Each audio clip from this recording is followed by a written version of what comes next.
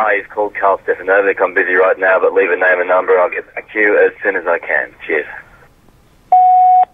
He's back. He's, he's back. He's back next week. We believe. Captain Karl's back next week. He What, is. what's going on, buddy? He can't, it's his message. No, I mate. He know. He's, he'll get back to us. It's overseas. Mate, Dickie and Fordo, buddy, just ringing a. Where are you, by the way? Yeah, Where did he actually get to? I don't know where is he. He's overseas somewhere. Yeah, but whereabouts overseas? Overseas is a very big Big, place. big place overseas. Carlos, we don't know where you are, mate, but one thing we do know. Uh, we, We've missed ya. you. We've missed you very much We've indeed, missed you, mate. It ain't the same without you. In Not the same. Dickie was just saying before. What were you saying about Um, when he's away? Well, when when the cat's away, the the, the mice. No, will- no, no, no, no. About absence makes the heart grow fonder.